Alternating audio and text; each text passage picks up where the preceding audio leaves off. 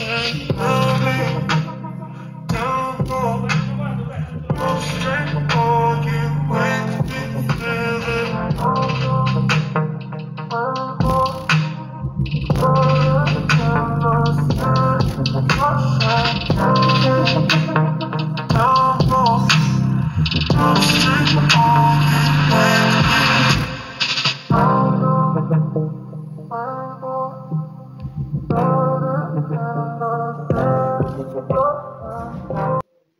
Guys एक और video में सभी का स्वागत है। जैसा कि मैंने स्टार्टिंग में ही इसकी थोड़ी सी साउंड टेस्टिंग आप लोगों को दिखा दी है।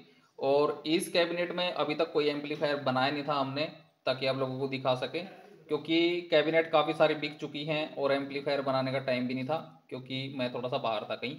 अभी बात कर रहे थे एम्पलीफायर की तो 2.1 आपको एम्पलीफायर काफ़ी सारे देखे होंगे, हमारी वीडियोज़ में भी देखे होंगे। और इसके अंदर थोड़े बहुत चेंज हैं और काफ़ी मेजर चेंजेज हैं वो, जो कि बहुत ज़रूरी थे। क्योंकि पहली चीज़ तो जो एक्रेलिक कैबिनेट है, पहला चेंज तो यही हो गया। और इसके अंदर मैंने इसका जो फ्रंट लुक है, वो पूरा माउंटेड करके आप लोगों को वीडियो में दिखाया था कि भाई इस तरीके का इसका लुक आएगा, ठीक है? तो उसके बाद इसके अंदर बारी आती थी एम्पलीफायर बनाने की। तो एम्पलीफायर यहाँ पे बन चुका है और एम्पलीफायर कुछ इस तरीके का है, यहाँ पे आप देख सकते हो 200 प्लस 100 प्लस 100 यानी कि एक 2.1 एम्पलीफायर है। और इसके अंदर जो चेंज हुआ है मेन चेंज यहाँ पे है स्पीकर प्रोटेक्शन है, जो कि स्टीरियो के लिए स्पीकर प्रोटेक्शन है, और जो 2.1 अपना प्रीएम्प है, वो इसके अंदर चेंज हो चुका है। तो यहाँ पे जो स्पीकर प्रोटेक्शन है, इसके अंदर चेंज ये है कि इसके अंदर हमने थर्मल प्रोटेक्शन ऐड करी है, यहाँ पे देख सकते हो, और ओ ऐड करी है। तो अभी तक जितने बोर्ड थे, जो ज़्यादा वोटेज के हैं, जैसे 2000 वोट 2400 वोट 3200 वोट तो इनके अंदर ही ओसीपी आप लोगों को देखने को मिलता था। तो ये जो सर्किट हैं अपने, इनके अंदर ओसीपी नहीं होता तो उसके चक्कर में लोग कई बार एम्पलीफायर अपना फूक लेते हैं कि भाई इसके अंदर भी वही सिस्टम होगा जो बड़े वाले बोर्डों के अंदर है। तो भाई जो ये होते हैं ना, इनके अंदर ओ वगैरह की ज़रूरत होती नहीं है, लेकिन फिर भी बंदे गलतियाँ करते हैं और एम्पलीफायर की दजियाँ उड़ा लेते हैं। तो इसलिए हमने स्पीकर प्रोटेक्शन के अंदर ओ ऐड करा ताकि कोई प्रॉब्लम ना आए एम्पलीफायर के अंदर। और खासकर ये तब होता है जब एम्पलीफायर डबल चैनल होता है या स्टीरियो होता है। मोनो में तो थोड़ा बहुत चल जाता है काम, ठीक है? तो यहाँ पे आप देख सकते हो ओसीपी वाली स्पीकर प्रोटेक्शन यहाँ पे ऐड करी गई है स्टीरियो के ऊपर और साथ में लगाया गया है थर्मोस्टेट ताकि अगर एम्पलीफायर ओवर हीट करे तो कट आउट हो जाए। तो इसके अंदर कुछ और भी जानकारी है, बहुत ही ज़रूरी जानकारी है, जो कि आप लोगों को एम्पलीफायर चलाते टाइम ध्यान रखना होता है। क्योंकि कई बंदों की ये दिक्कत आती है कि भाई एम्पलीफायर हीट कर रहा है बोर्ड हीट कर रहा है तो वो क्यों होता है, वो भी इस वीडियो में आप लोगों को बताऊँगा। तो उसके बाद यहाँ पे जो कैबिनेट के अंदर चेंज थे, आप लोगों को पता ही है क्या चेंज है। यहाँ पे ब्लूटूथ चेंज है और यहाँ पे जो लोगो है, वो चेंज है। लोगो हमारा ग्लो करेगा। अभी इसको ऑन करके मैंने आप लोगों को दिखा रखा था तो ये ग्लो कर रहा था। उसके बाद यहाँ पे और चेंज क्या है? और चेंज बस ज़्यादा कुछ नहीं है। एक्रेलिक के अंदर पैनल है पूरा का पूरा और ये काफ़ी कॉस्टली है। आप लोगों को पहले भी बताया था। और कैबिनेट का जो बैक पैनल है, उसके अंदर भी चेंज हुए हैं, जो कि मैंने आप लोगों को जो वीडियो थी कैबिनेट की, उसके अंदर भी दिखाया था। तो यहाँ पे आप देख सकते हो, यहाँ पे जो स्पीकर लैग हैं, पहले नॉर्मल वाली होती थी तो कई भाइयों ने बोला था कि भाई इसको जो बड़े एम्पलीफायर आते हैं, वो वाले जो स्क्रू कनेक्टर होते हैं स्क्रू लैग होती हैं, वो लगाओ यहाँ पे। तो यहाँ पे आप देख सकते हो, यहाँ पे हैं बनाना कनेक्टर्स और यहाँ पे हैं दो फ़ैन जाली साथ में ही है कैबिनेट के। तो ज़्यादा कुछ करने की ज़रूरत नहीं है, इसके में जाली वाली लगाने की ज़रूरत नहीं है, यहाँ पे है आरसी सॉकेट पहले आर सॉकेट उधर होती थी तो उधर की बजाय अब की बार यहाँ पे करवा दी है ये। टोटल ट्रांसफॉर्मर लगा हुआ है वीयू मीटर है तो इस, इन सारी चीज़ों का पता ही आप लोगों को सॉफ्ट स्टार्टर है।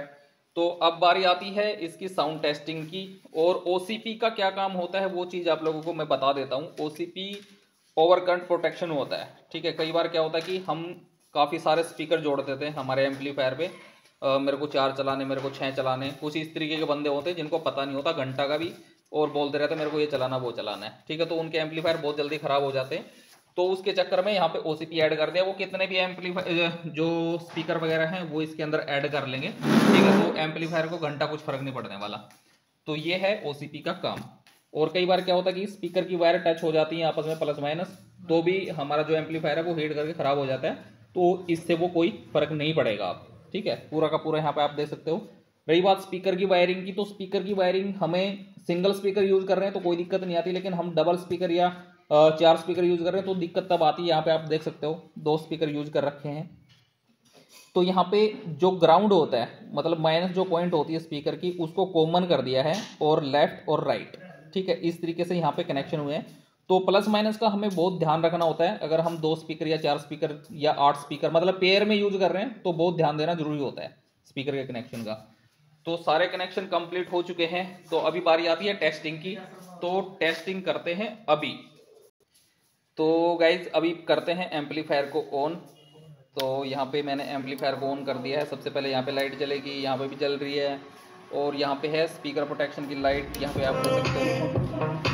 तो ये हो गया ऑन ये भी ऑन हो गई स्पीकर प्रोटेक्शन एक इधर है। ठीक है, यहाँ पे है फ़ैन फ़ैन ऑन हो गए हैं अपने। और यहाँ पे गाना भी प्ले हो चुके हैं। तो अब इसकी करते हैं थोड़ी सी sound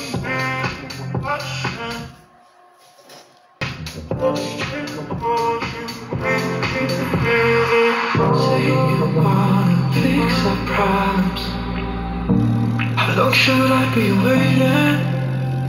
Feels like I've had too much of drama But I'm not ready to give in. I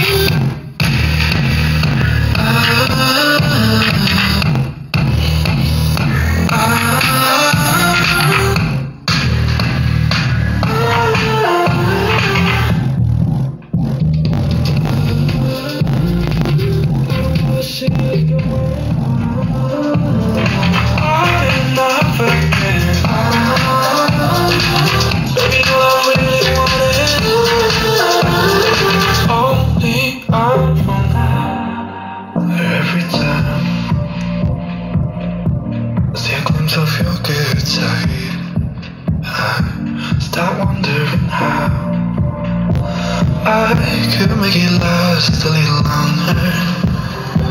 Say you wanna fix our problems. How long should I be waiting? Feels like I've had too much of drama. But I'm not ready to give in. तो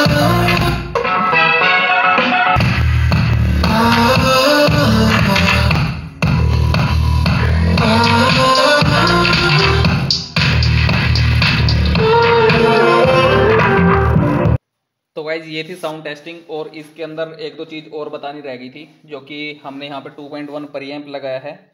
तो ये specially बाहर से इसको design करके मंगवाया गया है और इसकी खासियत ये है कि आप भले ही पूरा बेस खोल दो, भले ही पूरी वॉल्यूम खोल दो, जो आपकी साउंड है वो बिल्कुल भी नहीं फटेगी। ये पूरा मतलब मेंटेन करके रखता है साउंड को।